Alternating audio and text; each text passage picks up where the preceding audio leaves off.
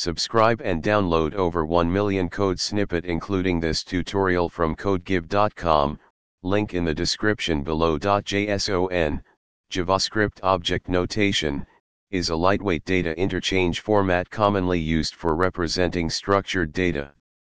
In Python, the JSON module provides functionality to work with JSON data. One common task is checking whether a specific key-value pair exists in a JSON object. In this tutorial, we will explore how to accomplish this with code examples.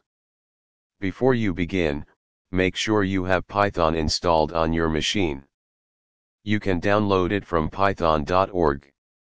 To work with JSON data in Python, you need to import the JSON module. You can either create a JSON object manually or load it from an external source. For the sake of this tutorial, let's create a simple JSON object. If you have JSON data stored in a file, you can use the JSON.load function to read it into a Python object. Now, let's create a function to check if a specific key value pair exists in the JSON object.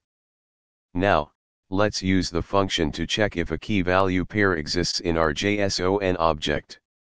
Replace key underscore to underscore check and value underscore to underscore check with the key and value you want to check.